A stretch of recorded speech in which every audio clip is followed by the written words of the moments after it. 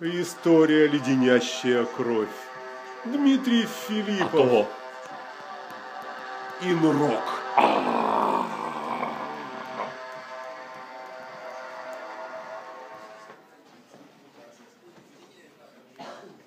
Да, хорошо.